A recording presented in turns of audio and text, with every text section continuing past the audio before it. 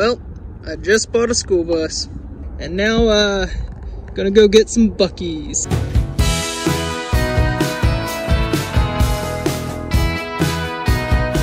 Well, started out with a few things, but then, uh, Dad said we might need to get a basket.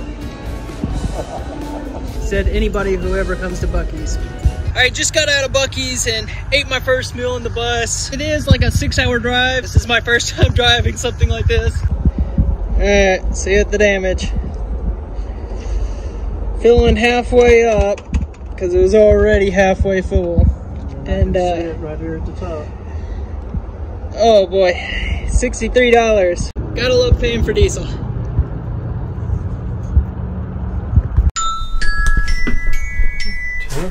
Yeah, it's bedtime. Okay, so uh we've been driving for a few hours. Um it's been a long day. Gonna call it a night. Got some sleeping pads set up. Um definitely not a bed, but it'll make do and um we're right on the lake, so hopefully we can get a really cool sunrise in the morning. Yeah. Roughing it, Dad. Roughing it.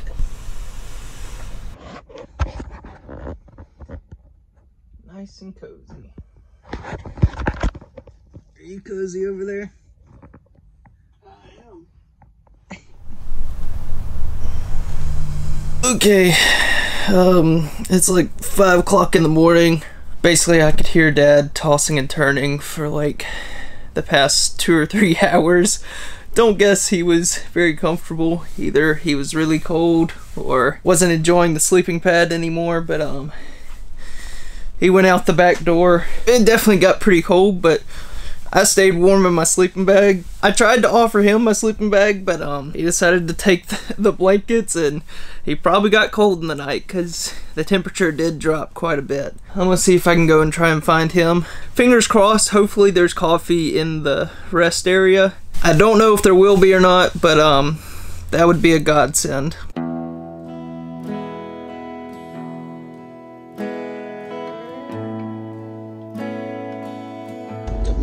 Morning. Sir. How'd you sleep? On and off. I could tell. I could hear you tossing and turning. Oh man. On hips, sir. Not what they used to be. Do we trust the vending machine coffee? So you get you a cup from here, then you get your Keurig from here. Oh, the good old Keurig. do the thing there. little Keurig start to the morning. You've got Folgers. Oh, the good old Folgers. Nothing better than a Fol- Folgers in your cup. Mm. Good old wilderness track days. Wake you up. Well, we had to go back to the car to scrounge up some loose change. The machine wouldn't take cards, so we found a few coins, like some true coffee addicts. What just happened? Well, after scrounging for money, digging around in backpacks and everything, we had enough. We put a dollar bill in, and it's 50 cents for a cup of coffee, and it gave me my change. And lo and behold, it also gave me a $1 gold coin. Which one you going with? Uh, good old faithful. Good old reliable. On the road again.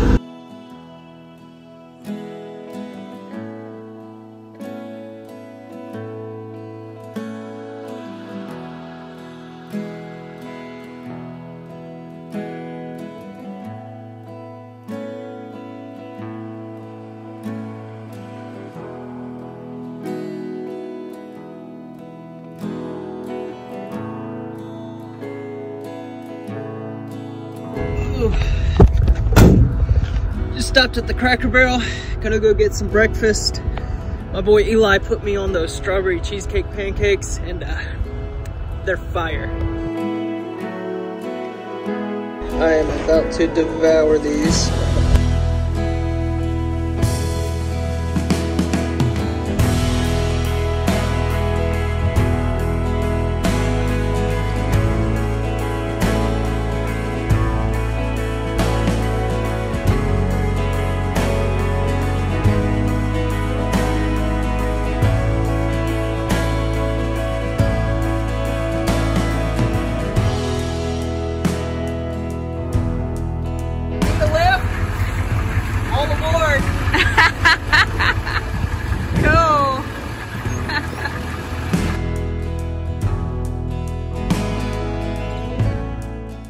Okay, so we just got back to the house and I just got out of the shower. So why did I buy a school bus? Well, it's something that I've wanted to do for quite a long time. And all those years ago, God gave me these visions of basically renovating a school bus to live out of and taking throughout the country for evangelism, you know, just making connections and partnering with different churches, different ministries, utilizing my love for the outdoors and travel to basically go across the country, just following the Holy Spirit wherever He would lead me. In all my travels and adventures in the past, I've just always seen God show up in the most remarkable ways and ways that I could never manufacture or come up with on my own, but the way that he orchestrates and puts me in exact moments to meet certain people and have certain experiences, that is where I thrive the most. And so I've just always known that I wanted to utilize a school bus to do exactly that and just live a life on mission and ministry full time. And basically, this school bus is a tool that allows me to do that. After I bought it, God revealed to me that it had actually been seven years that I've wanted to do this. I've wanted to buy a school bus. And on top of that, not only has it been seven years, but we actually bought the bus on the seventh day. And if you don't know the significance of that, seven in the Bible is considered the, the number of completion. And so as I was reflecting on God showing me that, I was just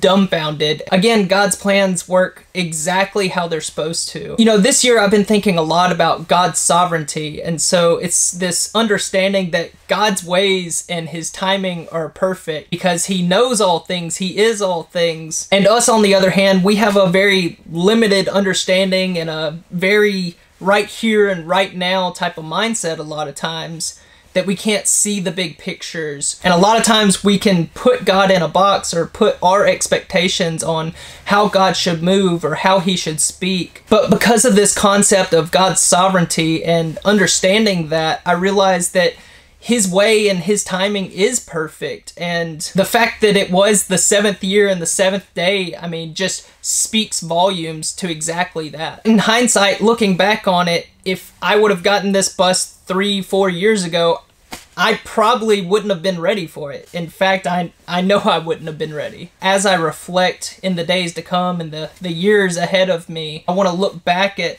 all of all the things that God has done in my life and how he was preparing me for this exact moment. All the things that I'm aspiring for and dreaming for will come in the right time, but I can't be so focused on that day that I'm missing what he's currently doing in my life right now. And I can't get bitter about what seems like slow progress. There's just been so many lessons that I've learned over the years, whether it be learning to be patient or continuing to hope when it doesn't seem like a hopeful situation, learning to trust God when I don't have the answers and I don't know what to do. Choosing to rely on him to be the answer. Again, seven years in the making, there's definitely been a lot of lessons and curveballs thrown my way, but every part of it that has led me to this part of the journey has been worth it. And so as I continue to go forward, whether it be good or bad, everything happens for a reason. And our God is involved in all the smallest of details. Obviously, because God is that big and loves us so much, he can handle our questions and our doubts. But it's good to come back to this reminder of the fact that he's God and I'm not. And so I have to trust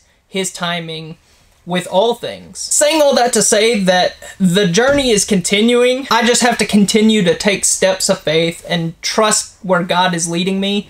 Even if I don't have the full roadmap, even if I don't understand all of the big picture or how certain things are going to work out or when things are going to happen, God knows and He understands what is best for me in each and every season. And so now I have one more final thing that I need to do, but I need to get my dad out here to do it.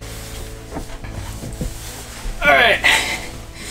So I got my dad here for this part of the video, this very special part of the video. Dad, as you know, uh, all good school buses need to have a name. It's not official until it has a name, right?